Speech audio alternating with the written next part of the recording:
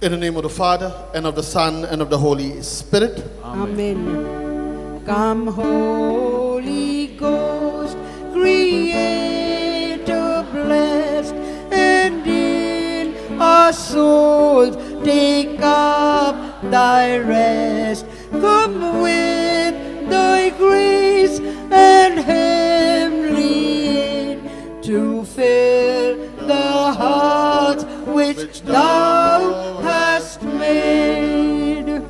Send forth thy Spirit, and they shall be created. And thou shalt renew the face of the earth. Let us pray. O God, who didst teach the hearts of thy faithful people by sending them the light of the Holy Spirit, grant us by the same Spirit to have a right judgment in all things, and evermore to rejoice in his holy comfort through Christ our Lord. Amen. Act of contrition. My, God, I believe in thee, I hope in thee, I love thee above all things, with all my soul, with all my heart, and with all my strength.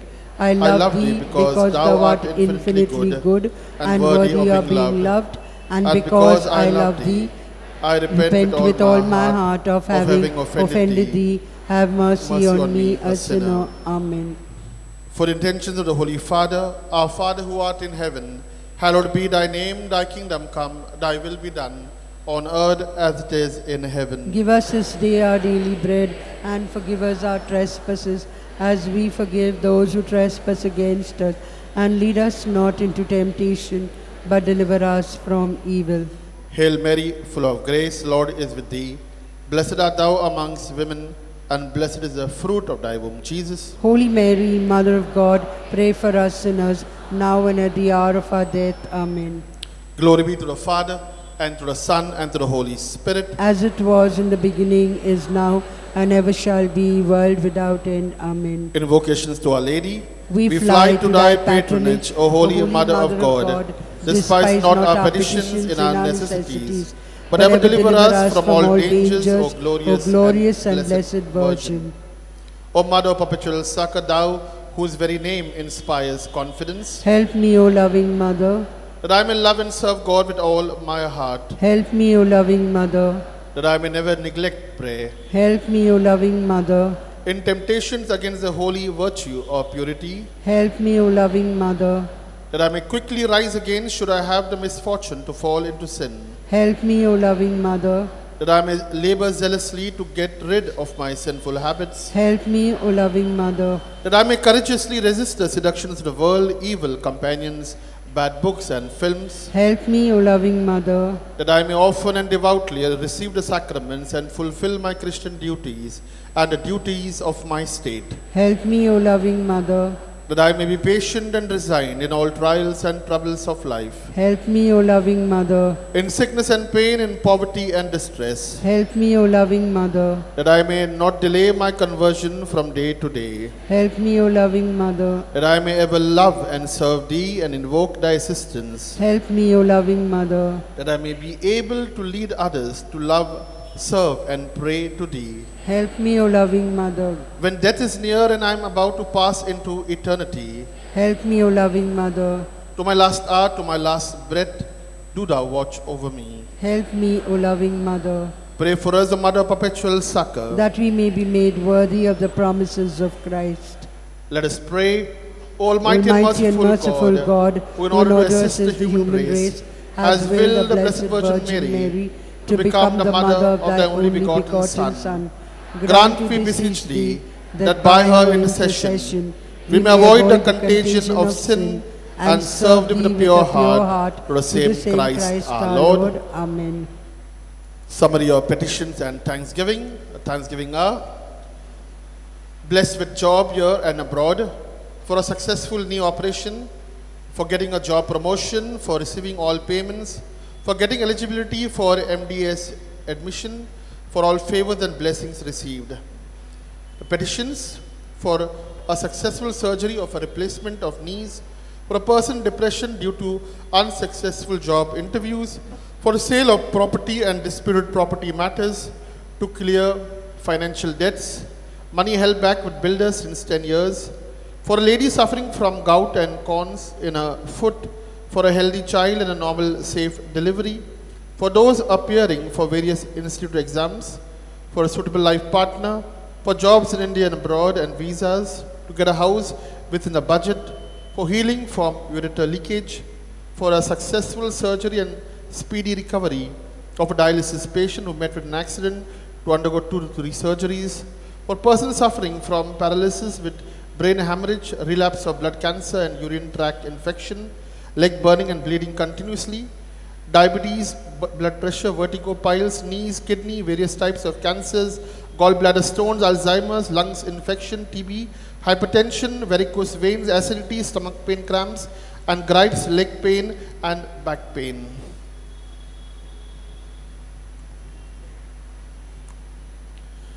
Now in our praise, O Mother of perpetual succor, behold me a miserable sinner at thy feet.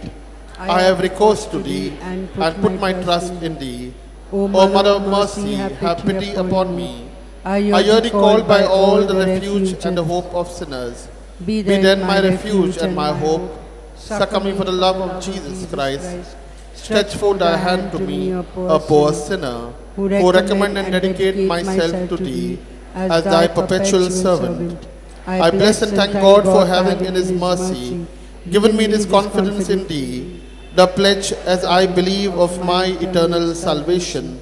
Alas, too often in past times have I miserably fallen, because I had not recourse to thee. I know that with thy help I shall conquer. I know that thou wilt help me if I recommend myself to thee. But I fear lest in occasion of falling, I should cease to call upon thee, and so should lose my soul. This then is a grace I seek from thee, and I beg of thee as far as I know how and can, to obtain it for me, namely in the assaults of hell, always to have recourse to thee, and to say to thee, O Mary, help me, Mother perpetual succor, suffer me not to lose my God. Amen. Mother of perpetual succor, Pray for thy children. Hail Mary, full of grace, the Lord is with thee. Blessed art thou amongst women, and blessed is the fruit of thy womb, Jesus. Holy Mary, Mother of God, pray for us sinners, now and at the hour of our death. Amen. Mother of perpetual succor, Pray for thy children. Hail Mary, full of grace, the Lord is with thee. Blessed art thou amongst women, and blessed is the fruit of thy womb, Jesus. Holy Mary, Mother of God, pray for us sinners, now and at the hour of our death. Amen. Mother of perpetual succor, Pray for thy children. Hail Mary, full of grace, the Lord is with thee. Blessed art thou amongst women, and blessed is the fruit of thy womb, Jesus. Holy Mary, Mother of God, pray for us sinners, now and at the hour of our death. Amen. Holy Mary, succor the miserable, help the faint-hearted, cheer those that weep, pray for the people, be the advocate of the clergy, intercede for all devout women. Let, all feel thine aid, who implore thy perpetual succor. Thou hast been made for us, O Lady, a refuge. A helper in need and tribulation. Let us pray, O Lord Jesus Christ, who has given us thy Mother Mary, whose wondrous image we venerate, to be our mother ever ready to succor us. Grant, we beseech thee, that we, who earnestly implore her maternal aid, may deserve to enjoy perpetually the fruit, the fruit of, of, thy redemption, redemption who, lives who lives, and, reigns world without, without end. Mother dear, oh pray for me, whilst far from heaven and thee. I wander in a fragile bark, oh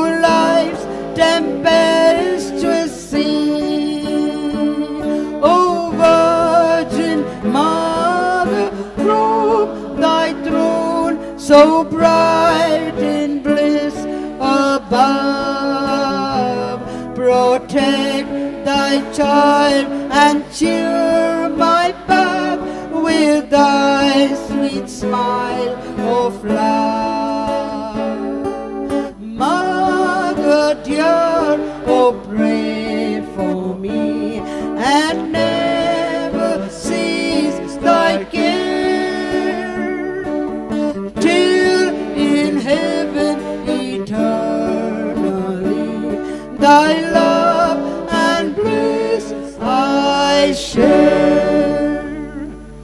Announcement and preaching. Sneh a freshly cooked vegetarian meal, will be served every Wednesday from 8 p.m. to 9 p.m. in the SMRC hall. All those who would like to volunteer in cooking, serving, and cleaning are welcome. Donations for the same can be made at the shrine office. The sacrament of confession will be held every Wednesday from 9 a.m. to 1 p.m. and 3 p.m. to 7 p.m. on the first floor above the drill hole. All Catholics can avail of the same. Kindly keep your mobile on silent mode. Please do not speak on a mobile in the church. In case of any emergency, kindly step out of the church to attend to the call. Please take care of your personal belongings and do not leave them unattended. My dear sisters and brothers, there is a story told of two resident monks who lived amicably together in a monastery. They had a great rapport, a great friendship was always there between them.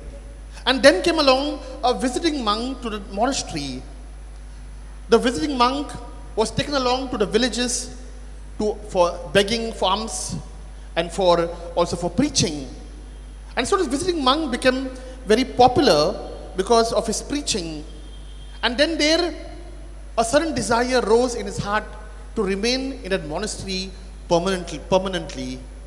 Well, there was nothing wrong in his desire to stay in a monastery, but then he had an evil intention.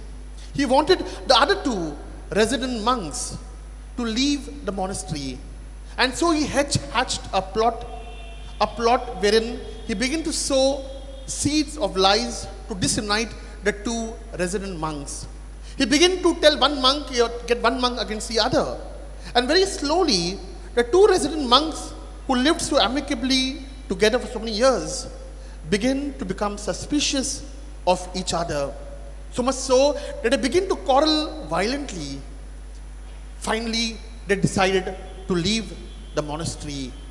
The visiting monk was very happy that his scheme came to life. He was able to get them out. He pretended to bring to reconcile them to one another, but internally he didn't want that. And soon, finally, the two resident monks left the monastery. After many years, the two resident monks happened to meet in a different monastery by chance. And there, they were not talking initially, but the elder monk went on to the younger monk, mustered some courage, and told the younger monk, Why did you say something, this bad things about me? And he said, I did not say it. In fact, you said something wrong about me. And very soon, when they begin to talk to each other, uh, they realized that it was the visiting monk who sowed the seeds of disunity among them. They came hand in hand to the old monastery. And when the visiting monk happened to see the two resident monks coming back, he realized his game was up. He fled from that place. My sisters and brothers, we may not be guilty or rather to stoop so low to cause conflicts and disharmony, but we may be guilty of backbiting, of gossip and idle talk. I would like to begin by pointing out something very significant in a way in which our Creator, our Lord, designed the human head. He created in us seven openings, two eyes, two ears, two nostrils. But when it came to the mouth, he restricted to only one. Well, this one mouth of ours creates more problems than all the other openings put together. And it's interesting to note that when you look at this subject of mouth, the words, things like mouth, tongue, lips, speech, and so on, you will see how much the Bible has to speak on this topic and with good measure. There are many passages in scripture that talks about the vital importance of using your tongue very judiciously. I would like to quote one of them, Psalm 34, verse 11 to 13. It says, Come, my children, listen to me. I will teach you the fear of the Lord. Whoever of you loves life and desires to see many good things days, keep your tongue from evil and your lips from speaking lies. Your lips from speaking lies. The inspired word of God, my sisters and brothers, is, is kind of teaching us something here. The fear of the Lord. Now, what is fear of the Lord? He's not talking about fear in terms of God going to punish us, so I need to be careful of God is going to do this, good, do that. From young age, sometimes we are brought up with the wrong teaching, wrong theology, saying God punishes us if we commit any sin. It is, it is far from the truth, my sisters and brothers. The word of God says, God pours his rain on the good as well as the bad. So never for a moment think that God is punishing us for what we are going through right now in our lives. Never, never, never. Okay? So very, very clear here. The fear of the Lord you are referring to here is a reverential fear, which means I have the first thing I want to do when I get up every morning is to please God. My offering to God is God, show me how can I please you? How can I revere you through my word, through my deeds?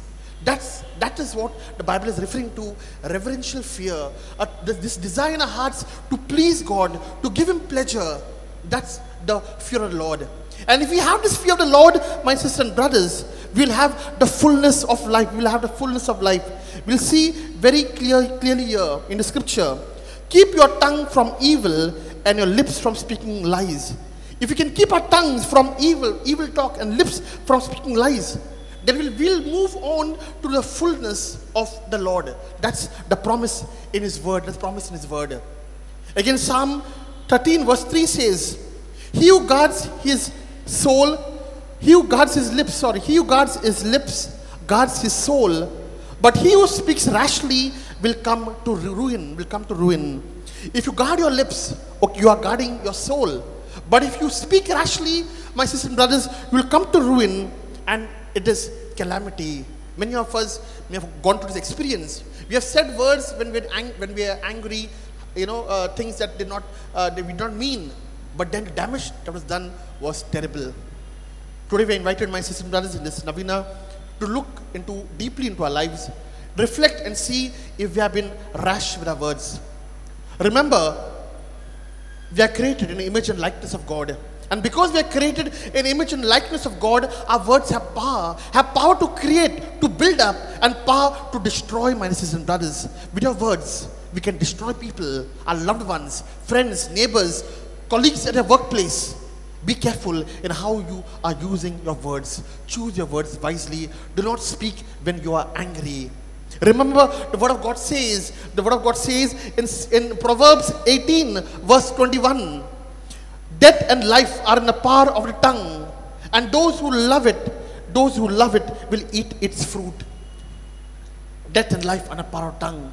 A mother or a father who calls his son from small age good for nothing, throughout his years, will actually become a good for nothing because your words have power. You have built up, you have created something in your son that was not supposed to be there. By your words, you have brought hell and, and, and horror in his life. In this Novena, uh, let us ask the Lord the grace to reign over our tongues. Use our tongue to praise God, to honor Him, and to worship Him. Amen.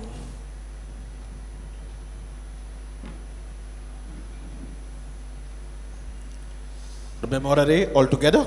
Remember, O most gracious Virgin Mary, that never was it known that anyone who fled to thy protection, implored thy help, or sought thy intercession, was left unaided. Inspired with this confidence, I fly unto you, O Virgin of Virgins, my Mother. To you I come, before you I stand, sinful and sorrowful. O Mother of the Word incarnate, despise not my petitions, but in your mercy hear and answer me. Amen.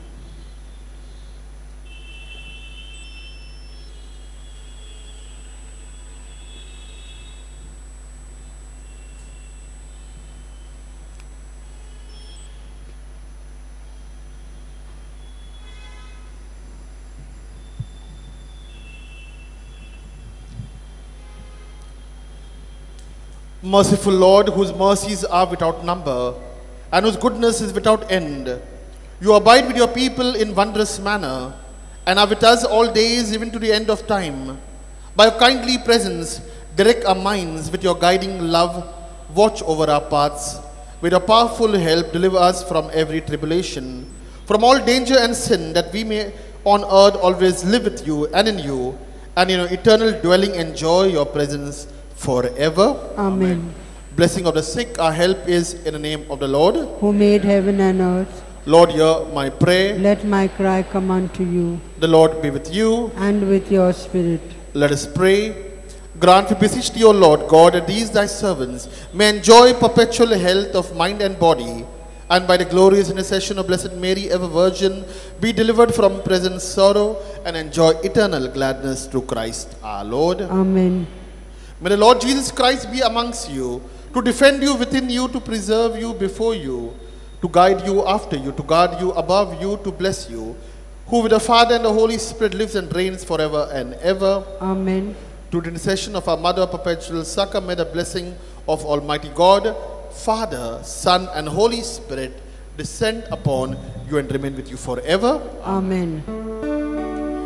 Mary, from thy sacred image, with those eyes so sadly sweet, Mother of perpetual succor, see us kneeling at thy feet.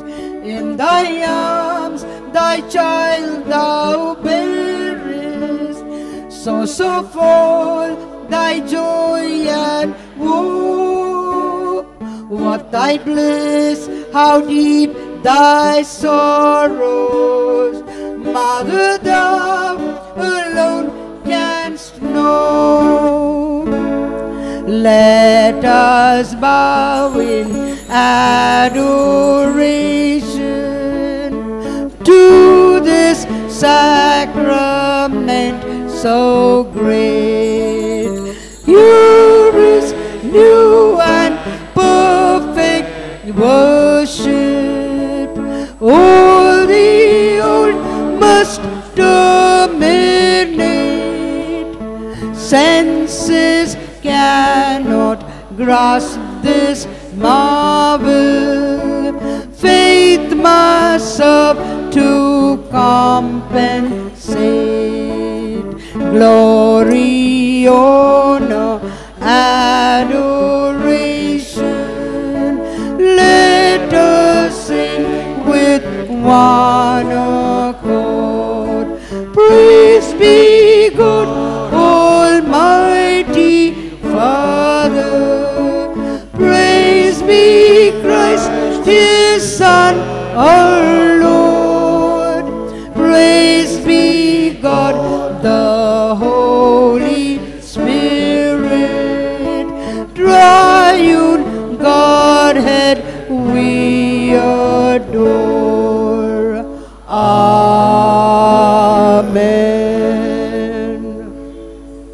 us pray. O God, in this wonderful sacrament you have left as a memorial of your passion. Grant that we may so reverence the sacred mysteries of your body and blood, that the taste of the fruit of your redemption may ever be within us, who lives and reigns forever and ever. Amen.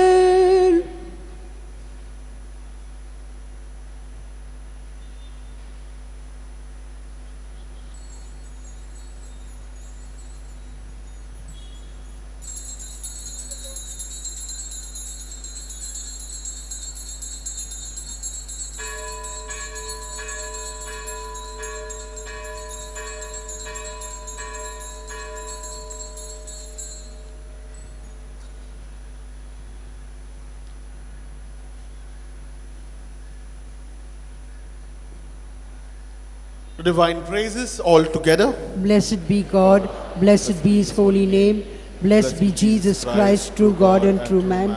Blessed be the name of Jesus, blessed be his most sacred heart, blessed be his most precious blood, blessed be Jesus in the most holy sacrament of the altar, blessed be the Holy Spirit, the Paraclete, Blessed be the great Mother of God, Mary, most holy. Blessed be her holy and immaculate conception. Blessed be her glorious assumption. Blessed be Saint Joseph, Mary, Mother. Hmm, Blessed be Saint Joseph, our most chaste spouse. Blessed be God and his angels and in his saints. Mother dearest, Mother fairest, help of all who call on thee. Virgin purest, brightest, rarest, help us, help, we cry to thee. Mary, help us, help, we pray. Mary, help us, help, we pray. Help us in all care and sorrow. Mary, help us, help, we pray. Mary, help pain and sorrow. Soothe those racked on bed of pain.